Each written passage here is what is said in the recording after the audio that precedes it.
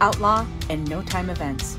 We are live every Monday night at 7 p.m. Eastern Standard Time. Take it away, boys.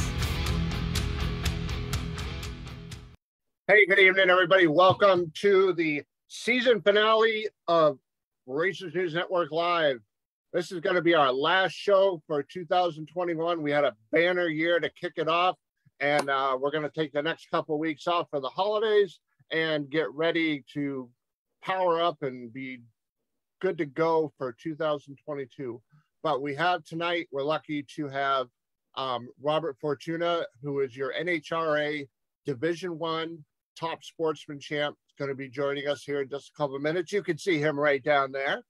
And uh, of course, we have to my left, actually on screen to my right, uh, Pete Sanka. How are you, buddy? Doing good. How about yourself? Good. So uh, let's talk a little PRI before we get to our champ. What do you think about that? Works for me. You you got to go. I did.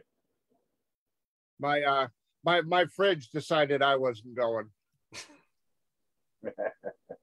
So do it, it. st- it stole my my PRI money. Yeah. So um, how was it? it was good. Um, Thursday was a little bit on the slow side, uh, and I thought that that was going to continue through the rest of the weekend. Definitely did not. Uh, Friday was a madhouse. Uh, very, very busy. Um, you know, I have no way of knowing if anyone was buying anything, if they were just window shopping, but uh, definitely a lot of people there. And I can only imagine. I left Saturday morning. Uh, I can only imagine Saturday was probably even worse than Friday, just because it's Saturday. Uh, anything anything was better than last year, though. Uh, yeah, well, last year there was nothing, so yeah, There you go. yeah. Did you uh, did you get evicted from John Force Racing? No, am I supposed to? Well, remember remember what we were talking about a couple months ago with the reaction time stuff. Oh yeah, yeah. No, no. I I flew under the radar on that one. Did you, uh, did you get the chance to take any of the tours? Because I know in the past you had you had done a couple. We didn't. Uh, I was fortunate enough to do a tour of Schumacher's. I want to say in 18, and then in 19, I went through Force's place. Um, didn't do any. Obviously, 2020, nothing happened. Didn't do any tours this year. Uh, Duran is actually usually the one that sets them up, and he Oh, was okay. with us this year. So uh, it was it was a pretty easygoing year. I will tell you that uh, it was definitely light on vendors. Um, I don't know how light. I'm going to guesstimate and say probably anywhere from 15 to 20 percent uh, light. Which, again, considering everything that's going on, uh, it wasn't awful. Um, it was kind of a nice starting to get back into the swing of things year, and uh, hopefully next year it'll be full boat again and ready to go. I, I hope so because things are going haywire up here in, in my neck of the woods. Yeah, We're- we're we're number one in the country. Yeah, yeah, yeah. It, it's getting crazy here too. I don't know. It, it's almost like you just kind of. I don't know how you guys feel about it. I'm just tired of hearing about it. I I am so over it. It's what it's whatever the hell's going to happen is whatever's going Right. to happen. Exactly. I've I am doing and have done everything I can to try and avoid it. So at this point, if it happens, it happens. If it doesn't, uh, I'm just I'm so tired of every news station and every email we get from our kids' schools or in my school, and I'm just I'm so sick and tired of hearing about it. Yeah, I mean, I I personally have have been the entire time dead set against getting the the backs. I wasn't going to do it. I wasn't Yeah. one of those, you know, mm, vast right wing conspiracy not getting it types. But when we went on vacation back in August down to DC, me, my wife, and my son, Yeah, the deal with the Smithsonian's was if you got if you had your vax card, you didn't have to wear the mask. right, You know, it's DC. It's it's the beginning of August. It's going to be hotter than hell. sure. I'm like, all right, whatever, I'll do it. That way I don't have to wear a mask. Of course, we get down there, guess what? You have to wear a mask. I'm like, Well, it I, couldn't- I, I couldn't win either way. So it's just whatever. It is what it is, and like I said, whatever whatever is meant to happen is is going to be whatever happens, I suppose. The good news, the good news with you is you're so weird. We wouldn't be able to see any side effects anyway. So you know, you've known me long enough to know that. it's all good. Yeah.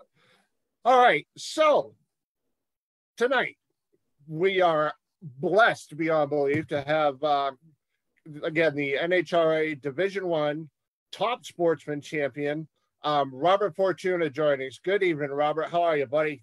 Good, guys. How are you? Good, good. So I, I want to kick it off with the one question I've been thinking about so far the, over the weekend. Your truck. Yes. Is that an old pro stock truck? No. No.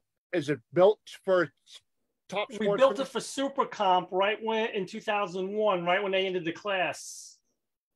So it was originally a Super Comp, built for Super Comp. Okay. All it's right. a Bickel chassis sure. that they welded together, and then Montana Brothers on Long Island mounted the body and did the tin work for me. Oh, nice, because it's it's a beautifully turned out rig. Thank you. It's 20 years old. wow. Really? I yeah. I I wouldn't have, wouldn't yeah. even have guessed that. Yeah, we take good care of it. I didn't look that good when I was 20 years old. I don't know about you. Yeah, I know. they say things get better with age. Yeah. yeah. No. I'll define yeah, him. Yeah. so how how long have you been involved um, in drag racing? 35 years. Wow. Yes. We raced out in Long Island when they had race tracks, and then we were at Englishtown not forever uh, what did you start out um, racing? I assume a street car. Nah, well, yeah, it started out with a 10 second box Nova or 66. And then we raced that and we started racing that in Super Comp and Super Gas. Early cool. days. Wow. Very cool. Yeah. Um, so how now you you took that step. How long have you been involved in top sportsman? Um, last few years I played at Numidia because they didn't have the car count. So, you know, I decided to get in and, and play. And then this year we just won Numidia, put, run it up. You know, we did both, uh, both races, the opener and Numidia. And then we decided to follow it after that. So, so this you is had, really my first year. You had no intentions of chasing points with the exception of you knocked it out of the park in Numidia. So that got the ball rolling. Yeah, I was sixth in points after Numidia, so all my friends said go and have fun, and I had more fun traveling with my son. Yep. And doing that, you know, we we doubled up at Numidia, and then we doubled up in Virginia together. So it, it was more time with him. It was more, you know, more of it. The winning was just the plus, you know. Right, right, right. I'll tell you that I I chased points once in Super Street. Right. And I went down to uh, Silver Dollar and then I went down to Rockingham. Right. And I didn't do anything. I think I won one round at both races. Right. Uh, but the most memorable part about that is the experience yep. and doing it with my son. It was fantastic. Uh, you know, he still mentions it. I still think about it. it. It was years ago. Uh, and what you're saying, I agree with 100%. The winning's just a bonus. Yep. Uh, well, the experience will last a lifetime without oh, a yes. Doubt. He's all excited for this year. now, he he runs juniors. Yes. Is, has he aged out, or is he still? No, he's only fifteen. Left? He'll be sixteen in August, so we have a few more years. So that's why we're just going to stick with these two. He did have an S10 that went 1150s that we race at Numidia. So he gets he was doing good there with that, but then we started chasing, and then that just sat. So parked that and started chasing started chasing the points. Yes. Nice. We've chased points at Numidia for the last 10 years. So we just got comfortable. We leave Friday after work and then we go to Numidia for the weekend. And we just got comfortable doing it. But then we were having fun doing the top sportsman. Hey, it is very cool the top sportsman and the top dragster to me are definitely one of the coolest classes. I mean, six second bracket racing. Yes. Well, You me know. on high sevens. Well, you know, yeah, yeah, I know. yeah, Yes, fast bracket racing. very cool. Uh, Pete, go ahead. What? Uh, tell us a little bit about your combo. Uh, what power? It's, uh, it's a 615 all aluminum built by JA Performance, conventional heads. Um, I got a sheet metal intake with two dominators. Yep. Uh, transmission converters by Select. I've been using them for years, and both motor and transmission never miss a beat. It's usually my error. Yep. I'm. I know the feeling. yes. So, but we did purchase a new motor from JA for this uh, for this season, uh, for next season. So I should be, you know, least make the field without having to worry about not qualifying because we had just squeaked in at New England. So Yep. we don't want to take that chance again. Right. Right. Yeah. Especially when you, if you're going to start playing with the points and defending your championship, Right. last thing you'd want to do is not qualify for a race. Exactly. Uh, no nitrous or nothing, just all motor. No, we had put it on for this season just in case we needed it, but one we kept having problems, it wouldn't come on for us. And testing it worked great, but actually on the track it would never activate. So Huh. we gave up and thank God we didn't need it. So Yeah. Right. What's your? Uh, oh God. Excuse the dog. that's okay. Uh, what's your schedule looking like for this year? Um, mostly Uh, all the sorry, next divisionals. Yeah, mostly all the divisionals we're gonna try to hit. Yep. And we're gonna try to get like three uh, national events.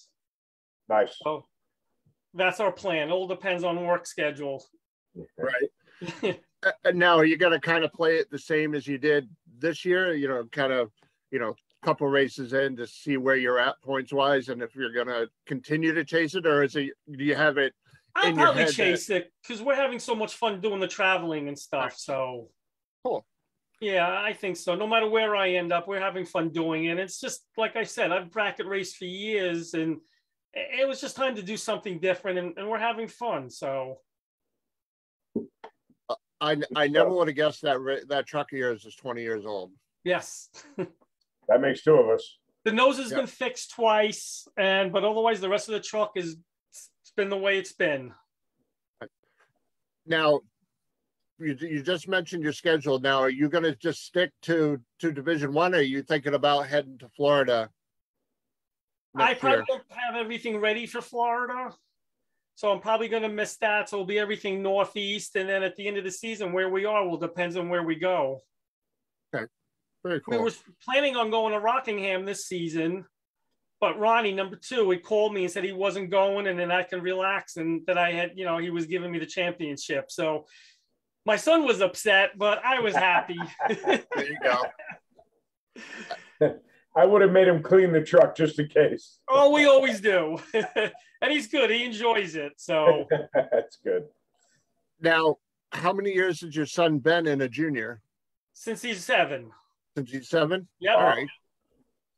And since he's been 12, he was racing my dually. We we have a special relationship with Bob at the Numidia. So we get to we drive with him and he's been allowed to do more or less whatever he wants. Nice. Nice.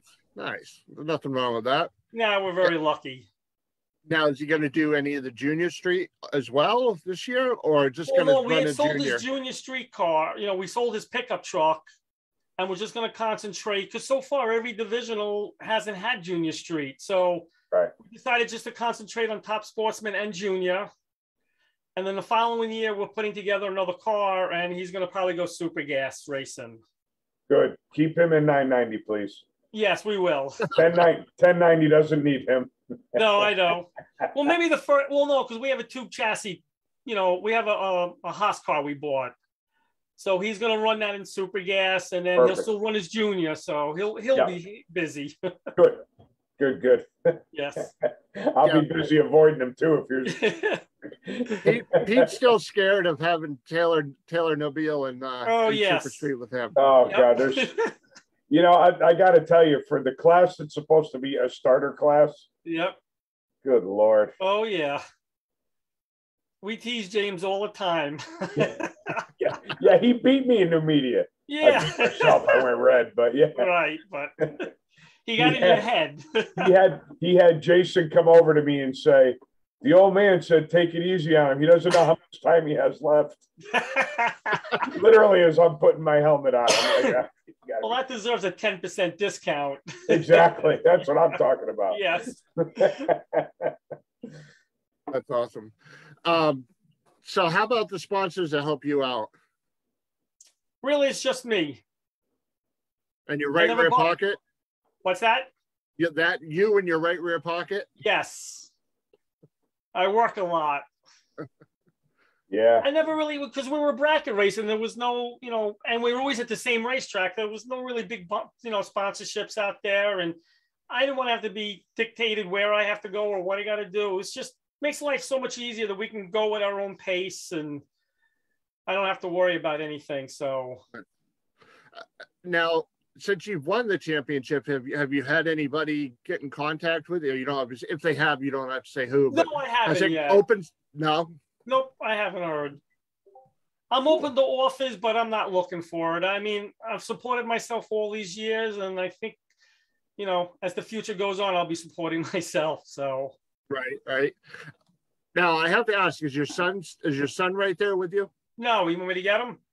Yeah, go grab him for a sec. Hey, Bobby!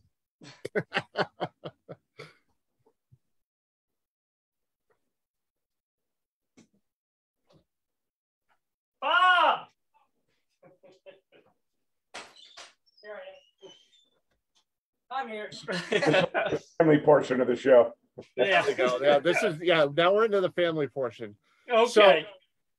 So since you're going to be running juniors uh, again in 22, right? yes. All right. If you guys come to Lebanon Valley, we're going to be doing a live show and it's going to be all about the junior guys and the ones who have made the step up, um, you know, into door cars or, or uh, dragsters or whatever.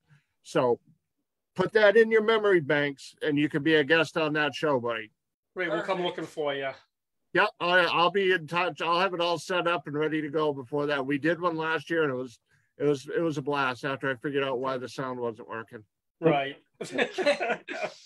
So, so how do how do you enjoy the drag racing stuff? I enjoy it. It's in my blood. Nice.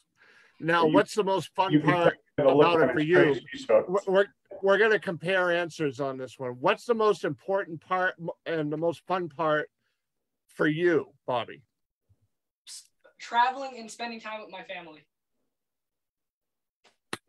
I would say that's a match.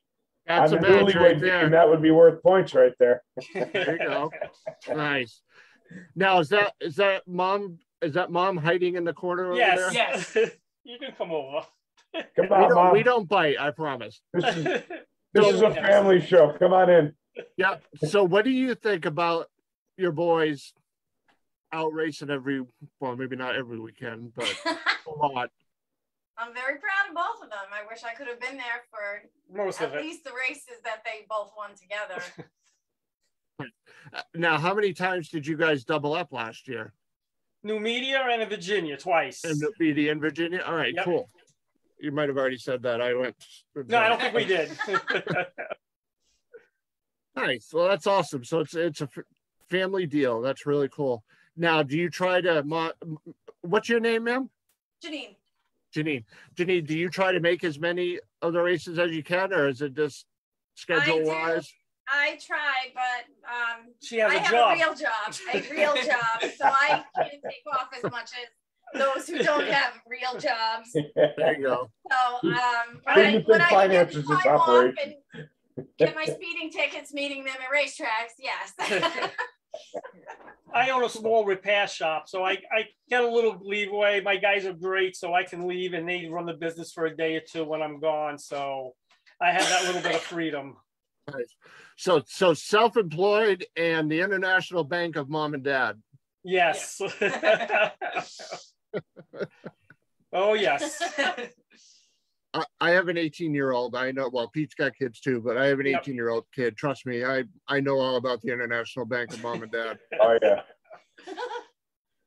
We tried Well, to get very him to other things, but he don't want to do anything except this. So You know, it makes my life easier because I don't have to stay home for weekends to do anything else except go racing. He'll he'll never have enough money to get himself in trouble if he keeps. uh, Exactly. racing. that's what I was just gonna say. Yeah, you know, you know, my, my my son loves motorsports, loves it, has zero interest in participating in it, but loves motorsports Oh, with every with every fiber of his being. So it's really cool. It's it's a lot of fun. He goes he goes with me as much as he can. I try to get him to go more because I need a travel buddy now with being Yep. disabled, handicapped, whatever you want to call it yeah. and um, a lot of things I can't do by myself anymore. So I try to get him to go when his work schedule allows. Right. So, but Well, that's uh, the fun part. I have a friend who's retired and he comes racing with us. His name is Nick. But Bobby makes him sit in the back seat because Bobby's got to give me the directions and you know where we got to stop for gas, what time we got to eat, and all that. And my friend just sleeps in the back seat till we get there. But With the dog. with the dog, wake him up, say we're here. Yeah. Yeah. That's But he, he's a lot of help with me dialing the car, and you know so. And if we have a problem, he's right there and knows what to do to get we get things straightened out. So he's real helpful. Nice. Now, now, what's your fastest ET and your fastest speed to date with that rig? With that was 767 at 178. We have uh, Frank Volpe Yep. commenting, wanting to know how big the new motor is. 665. So I thought for sure you were going to say like a 283. No. yeah, with 10 kids. And a, and a pro charger for fun. yeah, Yes. right. So we're hoping to go, you know, 720s with it, 730. So, right now, keep me in the field and not too, not change much of my driving, you know, you know, so, the way it looks, right? right. Very cool. Very nice. Well, awesome. Well, Yes, Frank, Frank Volpe was a big help in uh, Maple Grove. He had issues first round and I was able to get the first round win. So he gave me the rest of the data for the day. You nice. hey, listen, it's all about helping each other out, right? yeah, so not the way I wanted to win, but I'll take it. yeah. There you go. Yeah, because it's funny because it seems like every class is kind of like a, a a family. You know, you have Yeah, the first first couple of uh, races, we seemed to be like the outcasts. Everybody gave us dirty looks and stuff, but after Maple Grove, everybody seemed to warm up and you know and became very friendly, which we appreciated and stuff. yeah, yeah, it's it's uh it's like the high school clique thing a little bit. Yep. You know, you got the stock and super stock guys, you got the dot ninety guys over here, you got the top sportsman guys over here, and then you have you know juniors sprinkled in amongst All everybody else, amongst the whole group that kind of draws them all together. The dot 90 guys are like the homeless people. We just try and fit in wherever we can. We don't care. You know, I think we're gonna do some dot ninety stuff because he says they're gonna do. Uh, Rob said they were gonna do some top sportsmen and top dragster stuff. So Yes. Yeah. yeah, so we're gonna try to hit some of those also, just Good. to play. Yeah. He runs a hell of a program. Yes. Yeah. Yeah, he does. I- If you can go, my personal recommendation, having been there twice, it's an, an awesome event, is go to Uncle Buck's Pig Roast in, at Cecil County. Okay. August, it's like the third weekend in August, I think, roughly. Okay. Yeah, it's it's an awesome, awesome race, awesome group of people. It's Listen, you said food. My kid's already interested. Yeah. Yep. He's, he's And, doing a uh, math they- they now to figure out how long it'll take to get there. Yeah, I know. They My wife gets aggravated because you know she'll buy all this food and he goes to everybody else's trailer to eat, and we come home with the food. yeah, they they do a huge, huge um, barbecue on for Saturday afternoon when racing is over, and the food All is right, very good. We'll definitely look into that. and the, the competition in that group is is uh, Pete. I don't know. Have you have you had the chance to run many of Rob's races? I'll bet you since I've been racing, I've run maybe three of them. Yeah. And it's they're they're killers. I mean, it's it's the people that very seldomly do you see people there that aren't at the divisionals. So if they're racing the divisional series and they're taking time out of their schedule to also race that series, that means they got a boatload of laps under their belt, and Yep. there definitely isn't too many slouches in the group, if any. They're uh, they're good. They're Yeah, very you've good. at what got you've got the boy Chescos, you've got Hmm. uh Jake and Kelly Barbado. You know, Jake's been racing cars since Christ was a child. Yep. And I believe he worked on Jenkins pro stock stuff too. Um, you know, the the Don Hausers, you got a ton and tons of people there, you know, and I, the years of experience in that group is Yep. just mind boggling. So Yeah, they uh, they definitely put a good show together. They have the uh, the Dave Stein Memorial Race coming up too. Yeah. Is that that's second week of September? First or second week of September. That's a hell of a race too. Uh, a lot of Yeah. people chip in to build the pots up. Uh, you wind up racing for some pretty good money. Um, what did Super Comp race for last year? Was that the 10 grand? I was just because that was the number that was in my head too. I didn't want to say it, but yeah, I think they raced for ten thousand dollars last year for one race to win it. So yeah, it's a it's a he puts on a really good series, and if you can find time to put it in the schedule, you'll definitely enjoy it, no doubt. Okay. a great, great series. You know, I mean, since I've been back involved in doing this stuff for five, six years now, you know, it's been you hear the most about series wise, next to obviously the divisionals, you know, the Lucas Right. Oil stuff. You hear the most on the East Coast about um, Mid Atlantic dot ninety. Yeah. You know, so well, very cool. Well, listen, thank you for coming on and taking time to hang out and Not a problem. I really going with us. appreciate it. no problem. And you know, congratulations and enjoy your uh you know your celebration in January, you know, at, at the lodge. So Very good. Um, thank you. And You're I'll very see you in welcome, guys. Valley. Merry Christmas. Congratulations, and uh, look forward to seeing you guys next year. I will. Thanks, Pete. Keep it going. you're going. welcome. All right, Merry Bye, Christmas. Chris. Thanks, Happy guys. New Year. Take we'll care, talk guys. to you again, I'm Yes, Merry sure. Christmas. Merry Happy New Christmas. All right. Year. Same to you. All right. Bye bye. Bye. Robert Fortuna, everybody, your NHRA Division One top sportsman champion. And Thank you, guys. And family, yes. Yes, Yes. and family. And family. As mom's running away. yes. See you guys later. Have a good All night. right, care. take care, guys. Bye bye. Awesome. What a great family, huh? Yes, absolutely. That's that's what it's all about right there. That was that was really cool that, that his son answered exactly the same. Yeah, And he wasn't even he wasn't even in the room to hear it. Right, right. Yeah, that's that's about as cool as it gets, no doubt. Yeah.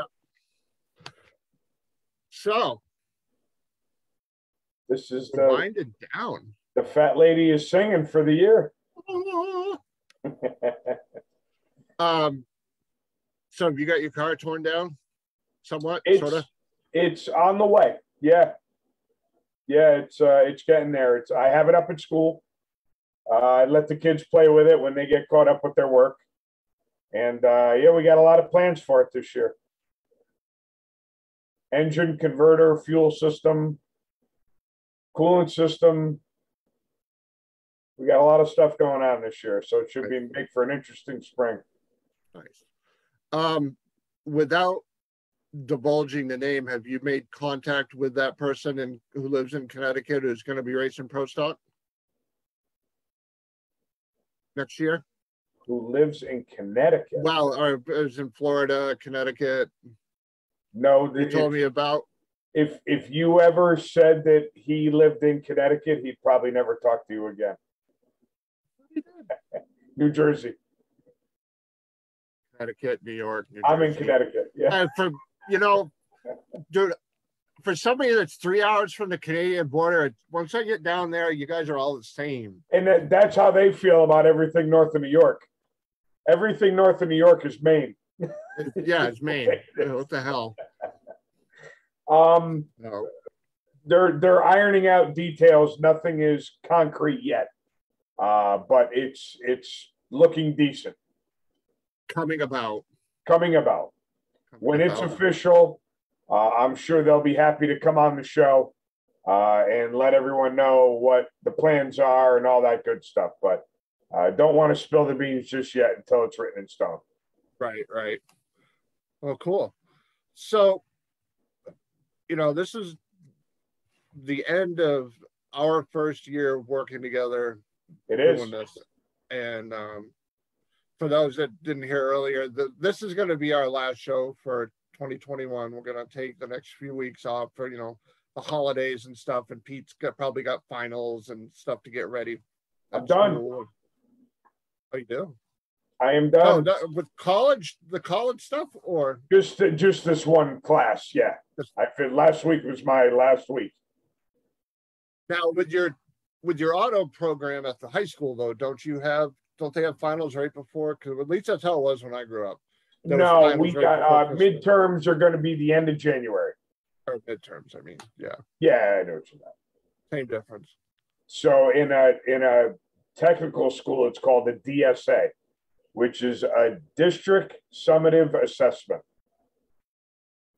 Don't I sound smart saying that? You you almost sound convincing, like you know what you're talking about. Right. So that's just a fancy way for them to say midterm. Um, I guess when it's uh involves a trade, they want it to be an assessment. Um, but yeah, that's that's going to happen. And ironically, last year we didn't have it with COVID. Um, for some reason, they've well, for some reason, it, it's the DSA is half test, half hands on, uh, and it's an assessment of how they're doing so far. So obviously, with most of them not being in school, uh, you couldn't do the hands on portion. So they just kind of foregoed all the assessments last year. So back at it Um, again. Cool. Yeah, because you're. Well, I, imagine you're done probably what on like the 23rd or so. 22nd, 23rd, we have a half day 23rd, you have a half day. and then off from there. So, like I said, I mean, um, you know, this is our first year of doing this. I'm very happy with how things have gone. Um, I know you are. We talk all the time, Yep. and um, I hope everybody enjoys what we're doing. I mean, we're we're here to have fun. If this isn't fun, we're not going to do it anymore. Right. Absolutely. Yeah, and even I mean, you've been very forgiving with my schedule with uh, getting busy the last couple of months. I pretty much switched to every other week uh, just to try and lighten my load up a little bit, and it's definitely helped. Yeah. But uh, yeah, I mean, it's it's all about having fun, you know, making people laugh and trying to keep people as informed as we can. Absolutely. And um, we'll be coming back for season two, um, January 3rd. Now, I've already got a lot of um, January booked up. I only have one opening in January. Um, we're going to cover a little bit of everything. We have kicking off with us on the 3rd. Um, it's going to be Mike Boehner from On the stop, Now, what is on the stop, Pete? Uh, it's basically um, a monthly subscription, which is extremely economical, in my opinion. Um, and it's basically a bunch of dot 90 racers that uh, help each other out tremendously. Um, I'll give you an example. One of the first things that I saw was they had a guy on from Computech talking about the weather station that they sell excuse me. Oh, I didn't mean that. I apologize. Um, they sell a weather station that's extremely popular uh, in the dot 90 field. And not only is it a weather station, but it's also a run predictor. And uh, he basically set up his screen uh, and went through what everything meant. And, you know, it was, it was a tutorial on, on uh, how to use it and what it does. So So- it's it's very similar to what um, Lee and Bud do. it's it is um lee and bud get a lot more in depth with driving techniques. Uh they they hit you know starting line reaction time. Uh they're more to honing a driver. Don't get me wrong they'll help you a lot with their dot 90 program. They'll also help you out with you know hitting bottom bulb for stock and super stock uh, analyzing time slips and weather and stuff like that. Whereas Mike's program is geared towards dot 90 only. And everyone in the group has something to do with dot 90. And it's more of a, hey, uh, you know, I noticed that in this condition, this affected my car this much. What do you guys think? And a bunch of other dot 90 racers will chime in and say, yes, this happened to me. No, it doesn't. And this is why. Um, Mike is also hooked up with a lot of people like the guys from Computech or Hughes Converters. Uh, you know, so if you have a torque converter question, you're going to have the gurus at Hughes uh, right there to answer the questions for you, whether you run their product or not, which I think is very cool. Um, you know, all the like when they had the guy from Computech on and they were talking about how weather affected your car. Well, it's not Computech weather, it's weather, right? When you're talking 10% humidity and how it speeds you up and slows you down, you know, any weather station is going to read a 10% change. Um, so even if you didn't have a Computech weather station, it was a lot of information to help the program. So it's it, it's pretty cool, pretty cool subscription to belong to. Um, and then also joining us in January is going to be, and I I messaged her the uh, last week, and I told her I said now that your last name has changed, I have to keep looking at my screen and thinking about who the hell's Taylor Nobile. I know. I see posts all the time. God, I hope the God she's not watching. I see posts all the time, and I'm like, who the hell is? Oh, that's right. Yeah. she went out and got married on us. Now we got a different last name. so um, again, Taylor Nobile and uh, Billy Kleinsman um, from Division One. Taylor obviously races Super Street. Yep. Billy works at um, Maple Grove. Yep. They were both selected for the 30 under 30 program through Drag Illustrated. I just missed that. Only by 15 years. Only by yeah, like 18 years. I was so close. Yeah. um, they're going to be joining us in January to talk about that. And I think that's really cool that there's two people from one division, right, that are uh, uh on polar opposite ends of the spectrum. One works right. on the track, one races. Yep. And uh, to be selected for that. I believe uh, Amanda was part of that 30 under 30. I don't know if it was last year or the year before. A couple of years ago. I can't remember yeah. the exact date. Yep. Um, Kyle Coltrera was also yep. selected for that program a few years ago. Um, so, yeah, I mean, there's a lot, a lot of that's, but it's really cool to have two people, like I said, from the same division from opposite ends of the spectrum. Right. And the, even better is that they know each other very well, too. Yep. Which is cool. Yeah, because I mean, Maple Grove, as Taylor's told us numerous times in the past when she's been on, you know, it, that's basically their home track. Home track, right? Um, let's see. Also joining us is going to be a good friend of mine um, from the from my old show.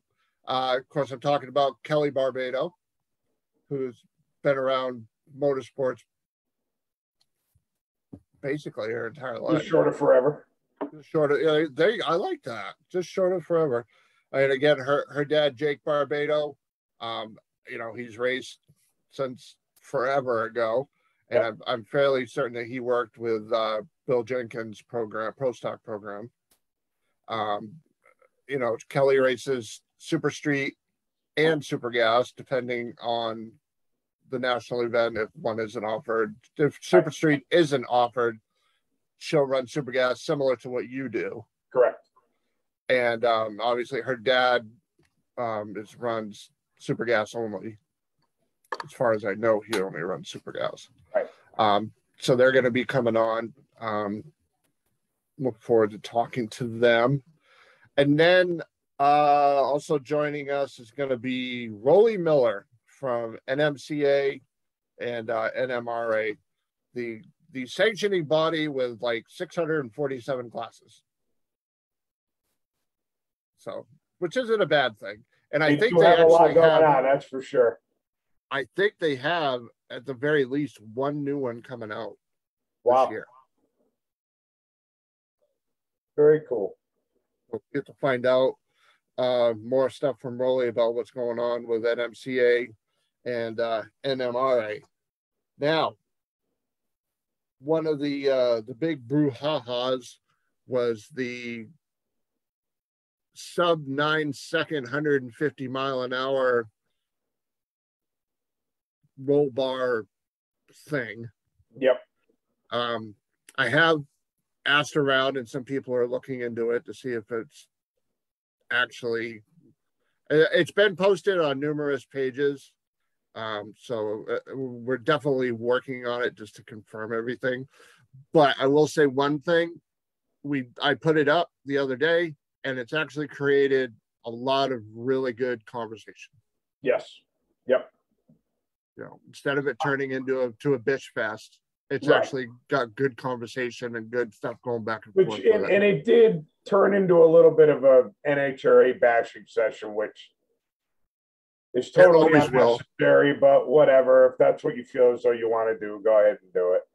Yeah. Um, my theory, as you, I'm sure you saw my post, the technology, the crash technology that goes into the newer cars far exceed a 68 Camaro with a 10 point cage.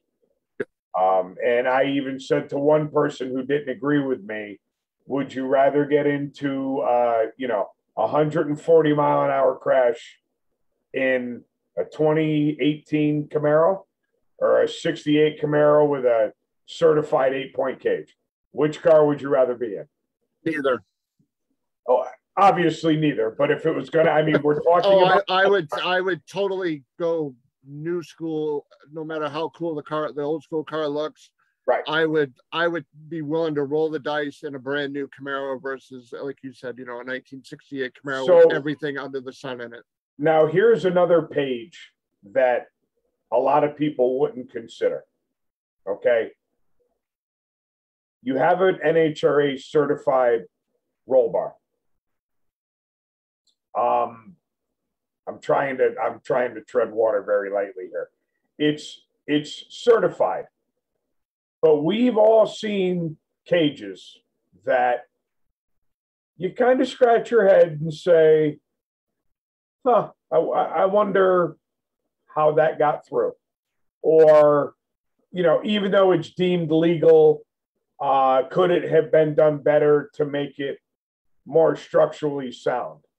Well, I will tell you that every car that rolls off of uh, GM, Chrysler, or Ford's line are all going to be made the same and they're all going to be equally as safe, which, in my opinion, are safer than someone that puts a roll cage in a car. Um, you know, full blown tube, tube chassis, uh, Bickel, Haas car, totally different. We're not comparing apples to apples. Right. We're talking, you know, a subframe or full frame car rolling off the assembly line in Detroit Exactly. that Pete throws a, a an eight point cage in for the guy down the street. Correct. You know, I mean, even it goes with the newer cars, it goes beyond just the structure that protects you. Uh, it's got all kinds of crumple zones and, and shear plates to let drivetrain drop out of it and stuff to fold up so that you don't feel the impact. Even if you had a car that that 68 Camaro with the eight point cage, even if you get into a crash barrel roll situation and nothing in the car fails, you are going to feel it so much more in the old school car because the old school car doesn't absorb any of the impact. The it way just drives car it right to you. it's everything that happens to that car you feel in your bones. Whereas the newer car will crimple up and I let's face it, it's Blow technology. Yeah, it's technology. And and you know, I realize a lot of people that spent thousands of dollars getting roll cages put in their car probably get angry when they see a 2018, you know, Challenger drive down the track making a nine second run with no cage in it. But you're probably safer in the Challenger than you are the regular car. Right. I got one of the a tech inspector from um, an NHRA sanctioned track, and I were going back and forth on Messenger yesterday. Yep. He he brought up a good point. He goes, "Okay, fine, but what about the head bouncing around with no with no Hans or no hybrid, you know, or safety solutions or whatever? And, You know, and- with with with the weight of the head, you know, the head the head is the head one of the heaviest parts of the body, if not the heaviest part of the body. right Then you add without a helmet. without a helmet. Then Right. you throw a helmet in there. I mean, my helmet, my helmet weighs about roughly two pounds. Give or take, you know, give or take a little bit. So you're you're actually adding a lot to this thing right here without it having any additional reinforcement. Like me, I couldn't do it anyways because my neck's so such a mess anyways. But he, I thought that was a legitimate point that he brought up. He goes, okay, fine.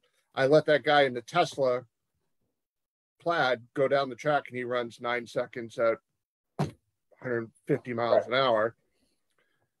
You know, tell him you got to have a helmet, but he doesn't have to have a neck restraint system. So I will tell you that while I agree with the reasoning for this particular rule, I don't agree with any of the other safety equipment lacking. Um, if you're required to have, and, and I, I know the rule isn't right, I'm just using an example. If you're required to have a Hans device at 150 miles an hour, then if you go 150, you should have that Hans device. Um, obviously, a Hans device works in conjunction with a five point harness that you don't need if you don't have a roll cage. I get all that.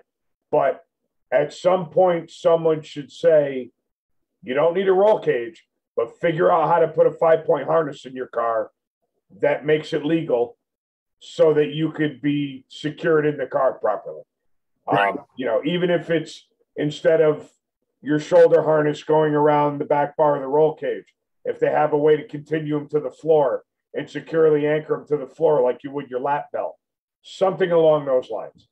Um, I, I- like know, in like in like in autocross and um, road racing for street cars they sell a, a harness bar that connects to basically right behind where the door latch is inside the car essentially what There amounts to the b to the b pillar Yep. um Yep. yeah you know you can bolt them weld them most people weld them and then they just cut the Yeah. trim around it and everything but yeah i mean you can set the height on it you can put your harness on Right. you know then again like you said you know obviously with a with a hans as everybody who knows you have to have four to five point harness with it Yep. to make it function I mean, if you don't, if you don't think that they should put a cage in a car because the new technology is far superior, that's fine. I'll go along with that. But your your 15 pound head is still 15 pounds, right? It still needs to be secured, whether you have a cage around you or not. Right. Fire still happens, uh, and it could even happen more so in the newer cars. You know, fuel injected, 70 pounds of fuel pressure uh, one little O-ring lets go or something, and all of a sudden you got a fireball, right? You should still be required to wear the jacket, wear the pants, wear the gloves, the neck collar. The you know, I don't think any of that stuff should go. Technology for crumple zones and structures, replacing a roll bar, I agree. But fire is still fire, weight is still weight. You still need to be secured in the car. So Right. that's kind Now- of where I stand with it. let's use, we'll use you again as the example. Yep. For your fire equipment, for your fire suit, your you wear your pants, your gloves, your jacket. Correct. Do you have the minimum of what the rule says, or did you take look at it and go, this is my house, and I'm gonna put more on, I'm gonna protect it more than what that rule says I need to. So I have a Hans device that I have not worn yet, but I plan on wearing this coming year. That's not required of me. I wear thicker gloves than my minimum. Uh, but my my pants and my jacket are the minimum for the speed that I'm going. And I also am putting a fire system in my car this year that is not required, but it will be in the car. Like I said, it's all about it's all about you. It's what you know. You don't need to have it, but is it gonna? You know, you have you have No, to look at the bigger picture of it. You know what, Chris? It's like anything else. You you always think that it can't happen to you, uh, and you always wait for someone else, right? I mean, years ago, me and my buddy Matt uh, were going to Englishtown, and there's one uh, light pole that's like bent over, telephone pole, and he happened to be a little bit too far to the right, and his trailer hit the pole, uh, and he had insurance and it covered it. And I'm thinking to myself, well, God, I don't have insurance that'll cover that. So you go out and you get insurance, right? Jason Lawrence, he had a misfortune this year and he had a lot of fire damage done to his car. And you think, well, gee, you know, maybe I should get a fire system in my car. It's it's just learning from other people and learning from your own mistakes. Learn learn by doing and learn by seeing. Yep. Yep. And we're stupid, right? Because we all know fire could happen. We all know that even though you're only required a neck collar, you're much safer with some kind of head and neck neck restraint system. Right? We we all know that. But I, I always made the joke with the with the horse collar, the U-shaped one. yep, yep. Your your head is like a Pez dispenser. If that if if something ever happens, Right. No. Right. You would be better off taking the U-shaped one and turning it around the other way. Right. But even still, that's it's yeah. No, you don't. This thing don't always work right. there is a video of someone dirt racing. Uh, I don't know what the hell they call it, Baja racing or whatever the hell it is. And it's a driver and passenger. And the driver has a head and neck restraint system, and the passenger has a neck collar. And they went off in a ditch and they had a GoPro set up right in the middle behind both of them. And they both hit the ditch, and neither one of them got hurt but you want to see the difference in head movement from the person just wearing the neck collar to the person with the with the restraint on if if you watch that video and it doesn't make you go out and buy one you have a problem because good god it's a big difference. It's even like that video that makes the rounds on um, Facebook and stuff sometimes, um, a couple times a year, of the dummy on the crash sled. You got it. Who who has the Hans on it. They do a, you know they do a with and a without. right. Yeah i mean you know it, it's it's not great for turning your head and looking. Fortunately i have no top end driving ability anyway so i don't really need to turn my head much but uh yeah i mean it's it sucks but it's a necessary evil in my opinion Right, right. All right. So a couple of things I've noticed that have popped up. Uh 2022 NHRA national event quotas. NHRA will be evaluating quotas on an event by event basis throughout the year due to scheduling variations. The quotas for the event will be released no later than the week the bleh, no later than the week the event opens for entries. It's a little interesting, isn't it? it it could be good and it could be bad um you know i would like to think that they're going to pay attention. And if they see that they need to add more numbers to certain classes they will. But unfortunately it also gives them the green light to go in the opposite direction too. So the people that want to bag on NHRA will say they're going to screw you. Uh, and the people that like NHRA s- will say it's going to be a good thing. So all we could do is wait and see. The one thing that I can say, if I had to complain to NHRA about one thing, now this was the last couple of years. I didn't look at the quota for this year, but in Super Street, you're only given one national event per division. It's bad enough you put a quota on it. It's always been the lowest quota of anything besides like top sportsman, top dragster. I believe the last couple years it was 45. And previous years it was around 60. It might have gotten bumped back up to 60 this year. I'm not 100% sure. But in my opinion, I don't even think you should have a quota on it. If you're only going to give us one race per division per year, why put a limit on it? You know you're not going to get 150 cars per division. We don't have that many, right? If 70 people want to come, let us come run. We get one shot all year. Let us come run. And fortunately, I haven't had any issue getting in, even when it was only 45. But could you imagine 44? We get the race once a year for a national event in our division, and they're only taking 45 of us and they'll take 350 friggin' stockers. I mean, it's like, give us a break, will you? Right. I I I understand. I understand what. Since I've known you, that's one of the things I think I've heard you talk the most about. Yeah, and, I mean, and even an, even with with Kelly um, Barbado, you know, numerous times she's even said that. You know, give us a give us some. You know, I wish I wish they would do a national championship for Super Street, but I've come to the realization that they're not going to, and it is what it is. So if you want to run for a national championship, you got to go into super gas or anything else. But to me, that, you know, if you want to win a national event Wally in Super Street, and you only got one shot a year to do it, ease up a little bit on the restrictions for how many people you're going to let in because 45, in my opinion, is just flat ridiculous. There's just absolutely ridiculous. Uh, from Rob Keister, the Super Street quota in Arizona is 60, which he said is a big jump.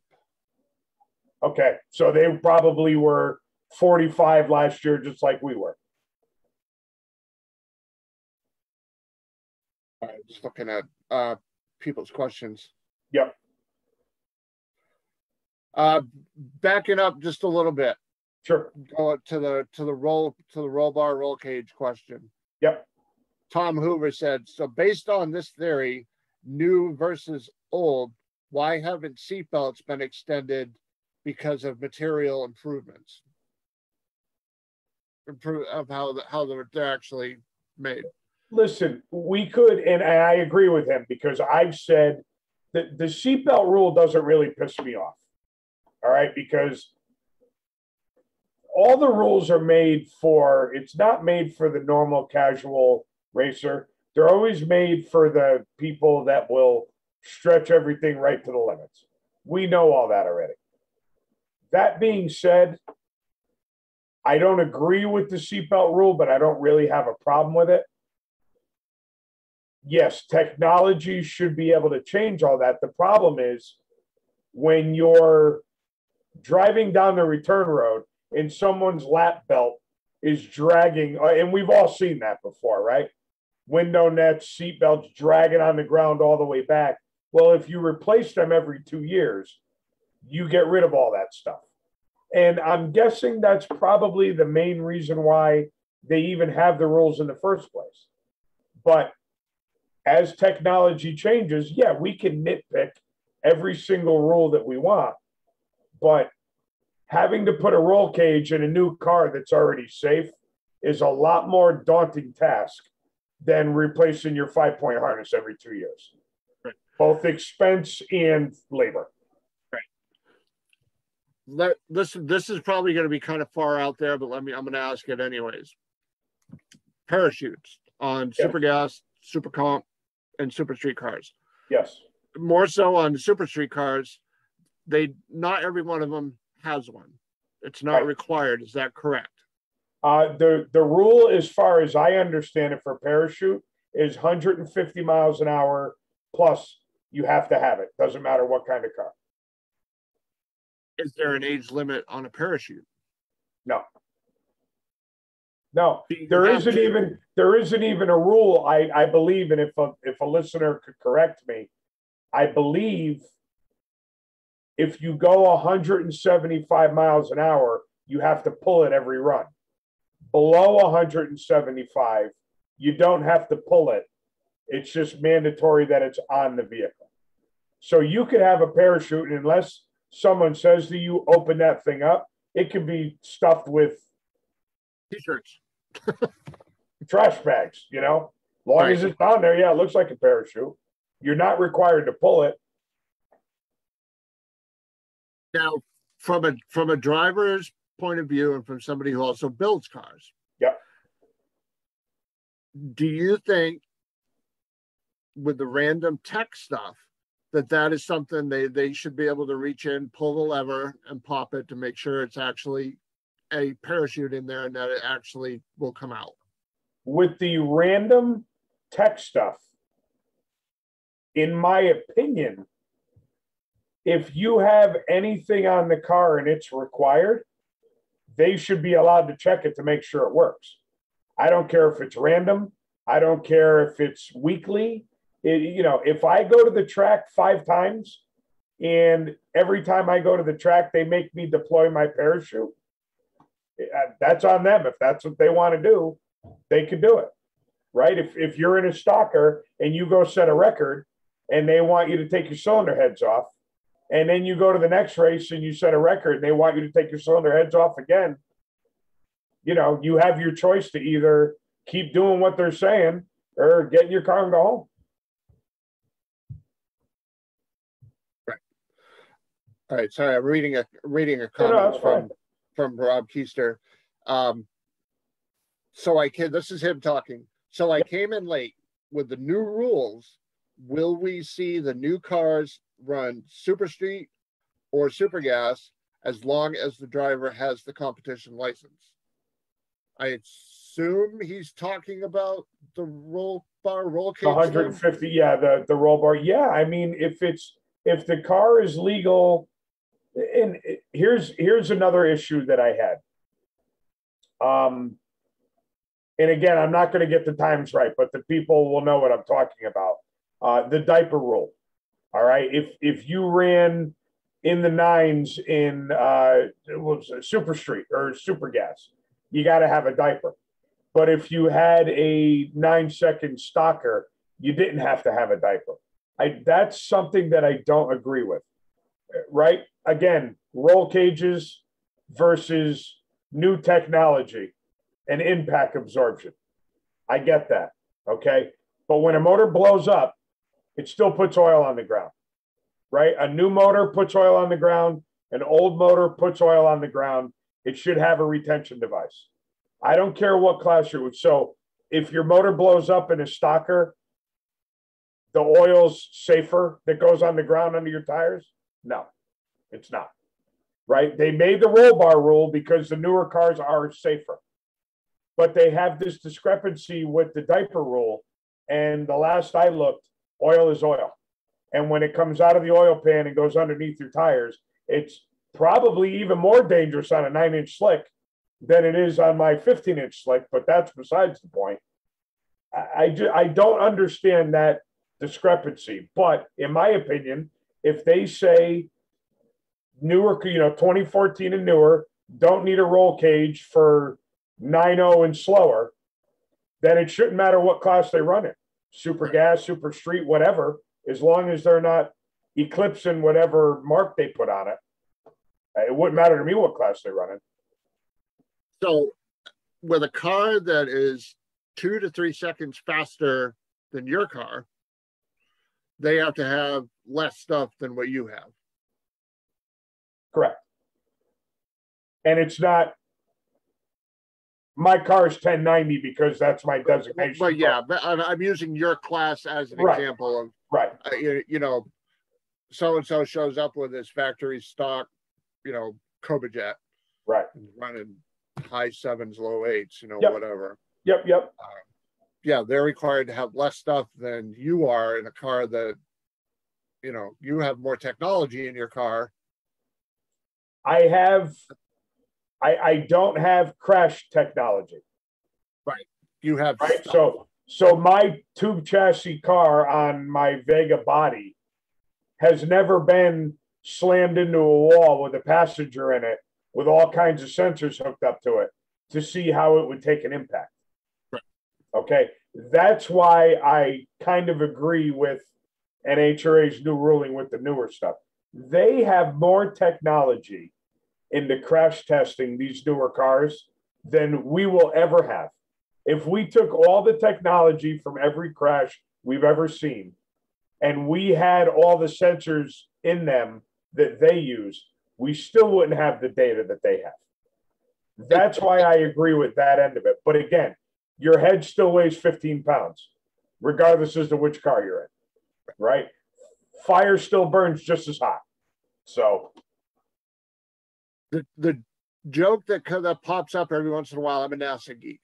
Yep. This this little old iPhone has more computing technology than what the lunar module did that landed on the moon. exactly. Exactly. Yep. I, I totally agree. I totally agree.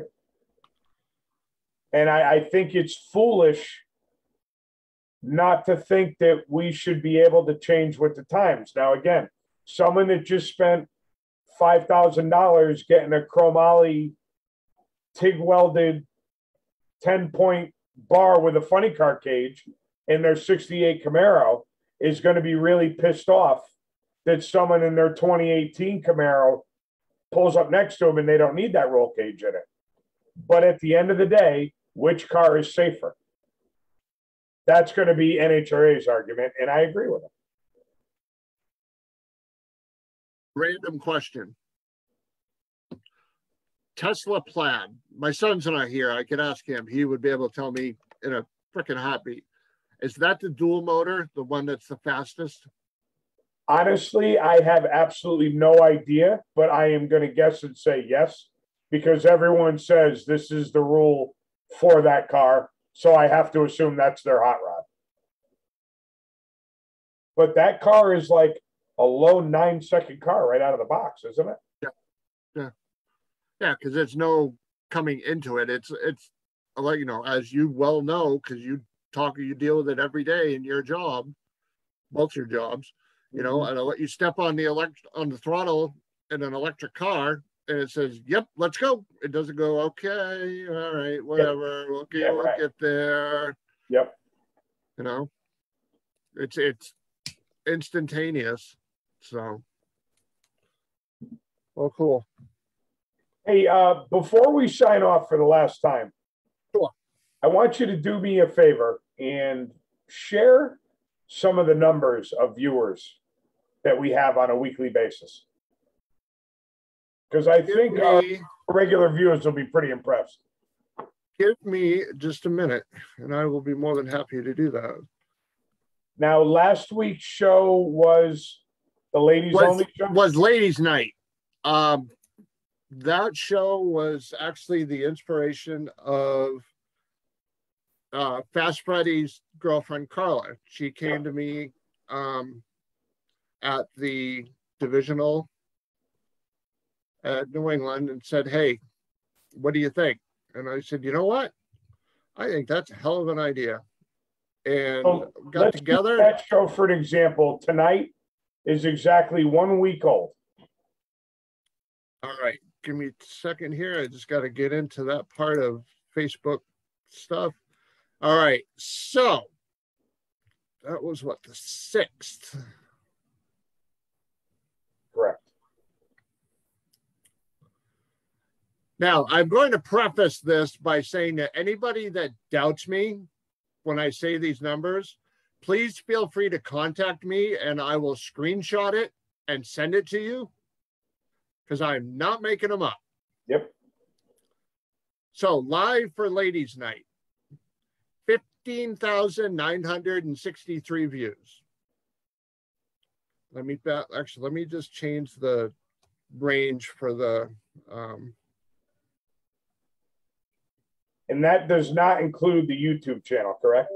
correct. I'll tell you the God's honest truth that these views obliterate the YouTube views. Right. Not just by a teeny tiny little bit. Right, right. but by a very significant amount. And again, like I said, I I challenge anybody that doesn't believe me. I will more. I'm more than happy to send a picture of it to you. I mean, the cool Um, thing for you and obviously for me is we've seen this grow. Yep. Right. I When- remember I remember a year ago around this time, we were like, holy shit, hundred people, you know, within 24 hours, hundred people clicked on the link and watched it. And then it was like when we hit a thousand, it was like, oh my God, this is unbelievable. And then We- five we- grand and 10 grand, and it was We pretty cool. went-. From an average January 4th of 2021 is when we started. Yep. Okay. We went from an average of about a thousand views total a week. As the year progressed, it went up to about three to four thousand. Yep. Then it went up to like six to seven. I mean, we have some at the very beginning that were a lot higher than that. Right. I, I, and one of them was was Fast Freddy, you know. But everybody tunes in when Freddy's on because it's like the old joke with Howard Stern. They want to know what he's going to say next. Sure. yep. So that was high. Um, I mean, uh, and a, this is a reality check. Uh, the show on the 29th was 2,810. Yep.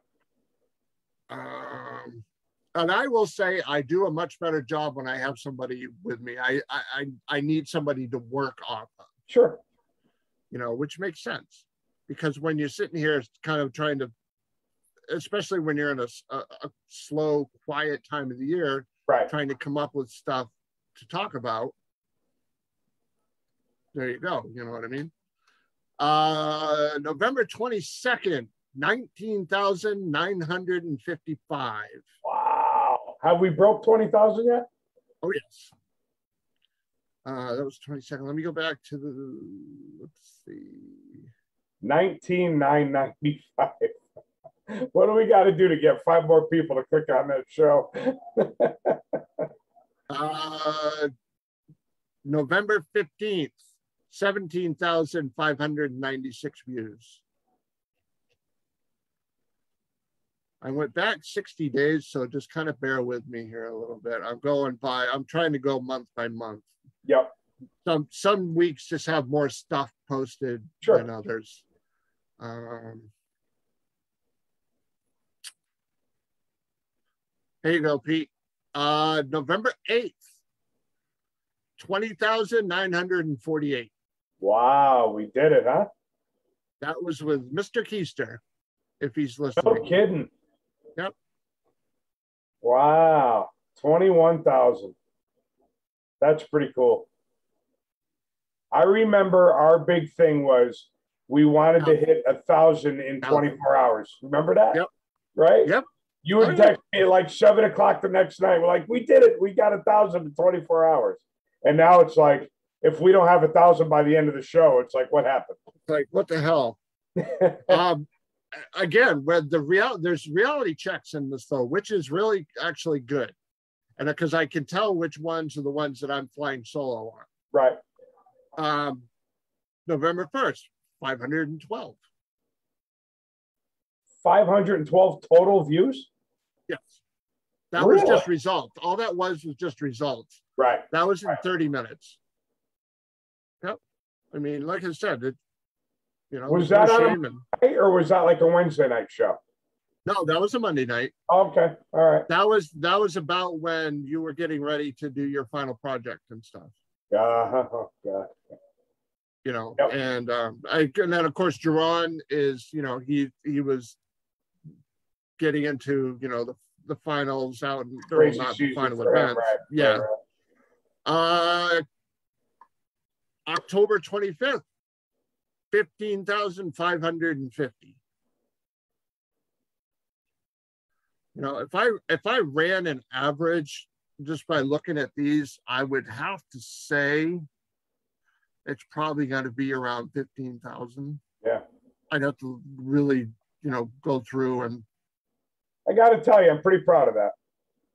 I And am in- too. I mean, I time to say two babbling idiots that talk about pretty much nothing. Could pull in 15,000 views a week. Yep. I'll take it. Imagine if they had a couple of good looking smart guys. Well, I've I've talked to uh, a a couple of our our um, female listeners are interested in coming on next year and doing results with us. That is fine with me because honestly, out of all the stuff that we do, the whole results thing is the most painless, painful thing in the world. Exactly. Yep. It's painful. I know they like it, but it's like, I wish there's something that we could do to spice it up or something. Or, Remember remember what I what I told you when we had that phone call? yep, Even if we added this and that, right. it still would be interesting. Yep. So, but uh, you know, and that's why when we started hashing out, should we do the results? Should we just skip over them? We put it out to you guys because Right. we're not here for us. Right. We're here for what you guys want to hear a couple of fools talk about. And everybody wanted the results. So we said, all right, cool, we'll do it. You know, and a lot of it too is that when you get to the end of the season, especially when it's not local, Yep. it just kind of loses some of that that flavor to it. Right. Right. You know, you're talking about a track that 3,000, 2,000 miles away. Yeah. Right. Right. You know, and people that maybe 20% of our audience will know, Maybe. maybe, Right. you know, and maybe one or two names that we've actually, one of us or both of us have actually heard of. You know, so, but um we aren't going anywhere.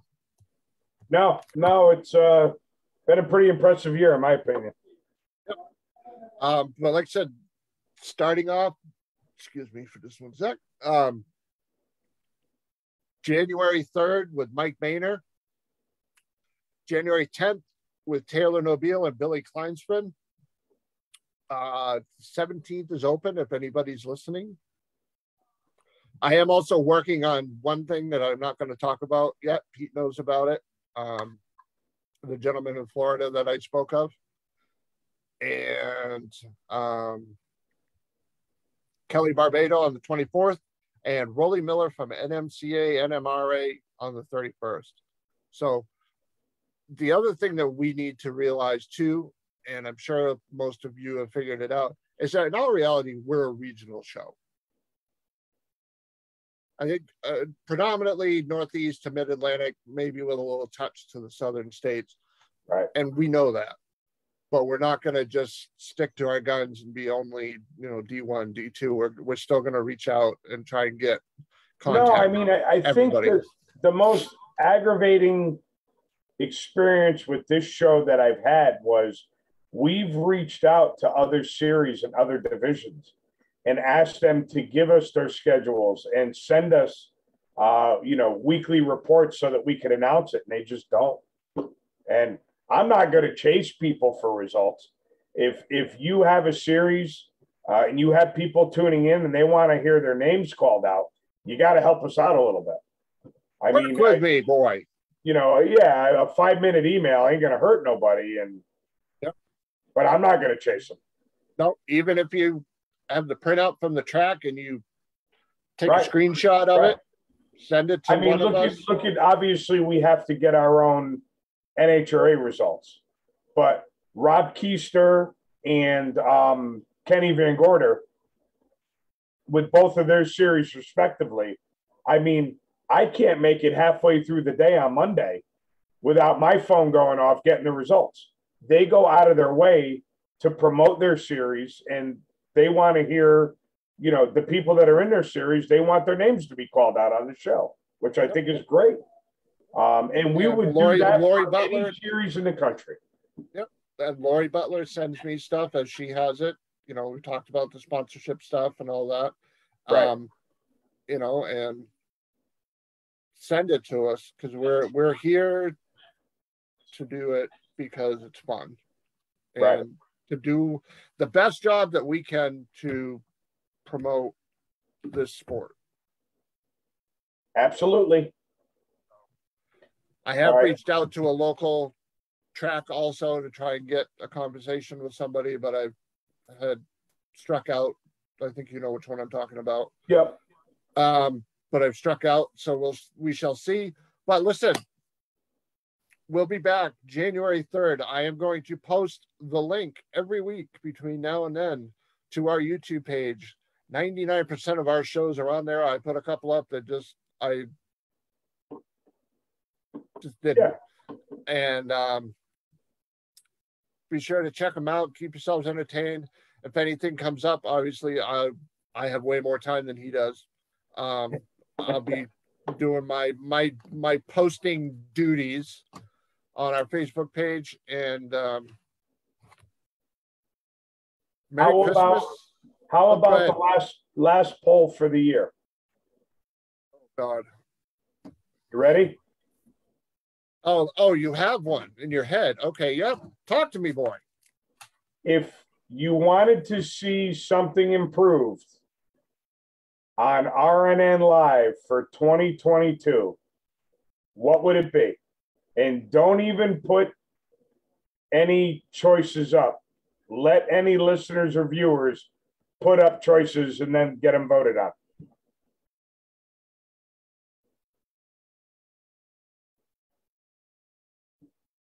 What would it be?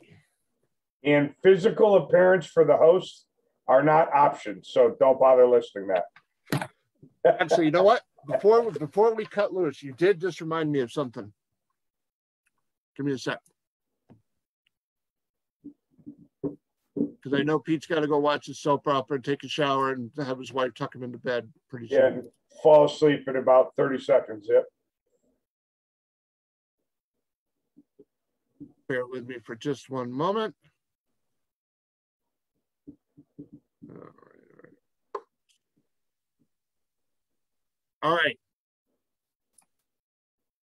We don't have to dive into this now, but food for thought. I borrowed this from Ellen Eschenbacher from uh, Midwest Drag Racing Series. I thought it was a really cool question. She, her, it was her idea. It was her question. She posted it, and I just shared it. Um, racers, if you had to evaluate your safety program on your own race car, team, rigs, etc., how would you rate it? Honestly, what improvements in safety would you like to see in this industry? It doesn't matter if you run nitro, pro mod, a 12 second door car, or you know, your Yugo going putt putt putt down the track. What would you like to see? And it's on our page. Um, again, it's under Ellen Eschenbacher. Um, she came up with the question, and I thought it was That's actually a really good, that's a really good question. good. I like that a lot. Yeah. So if you guys have time, take a look at it, make a comment. And um, like Pete just said, if you want to see something improved, this will be our official season ending poll question. I will have the results read January 3rd. And don't be scared. Uh, you know, No, if be you say, if you say I suck, get off the show. We'll get someone else to take my place. but what I, I want to know, listen, all I, at the end of the day, I want a better show every single week. So Yep. let's hear the ideas. All right. If you want to see something improved on RNN, what would it be? As soon as I get this downloaded and put and put up on YouTube, I'll put that up. Don't be shy. You damn sure ain't gonna insult either of us. Yeah, you got that right. Ron might be a little offended, but that's all right. We can deal Yeah, with that's all right. it. So, Good stuff. ladies and Hey, gentlemen, uh, boys and girls, Merry Christmas, Happy New Year, Happy Hanukkah to the people that already celebrated, Kwanzaa, Yeah. whatever. Enjoy it. so on and so forth. Welcome to the end of season one. We will be back for season two. Season two coming at you. Peace. See you. All right, everybody. Have a great night. Enjoy the holidays. We are out of here. Have a great night, everybody. Merry Christmas. Happy New Year. We'll see you all January 3rd.